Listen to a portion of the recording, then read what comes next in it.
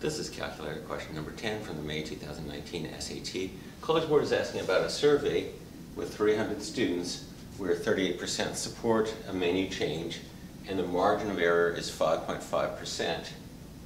And choice A for the interpretation of the results is the percent of the students at the school who support the menu change is 38%.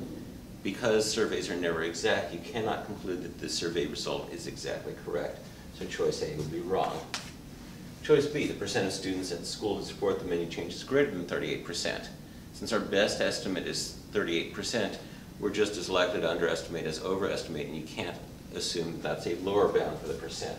So B is wrong. Choice C, plausible values of the percent who support the menu change are between 32.5%, which is our best estimate, 38%, minus the margin of error, and 43.5%, which is 38% our best estimate, plus the margin of error, 5.5%. So that is exactly what we mean by margin of error.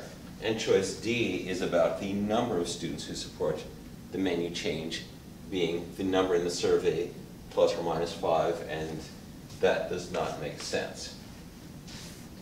Margin of error is the uncertainty in the percent that you get with a survey, and it's evaluated because in 95% of surveys conducted properly, the true value will be within your margin of error of the estimate from the survey. So it's plausible that 95% of the time it will be true that the true percent is between your estimate 38% plus or minus the 5.5% margin of error. College Board will often ask more than one question about surveys and experiments, so make sure you're ready for these questions. And come back soon for my next video. With math, there's always more.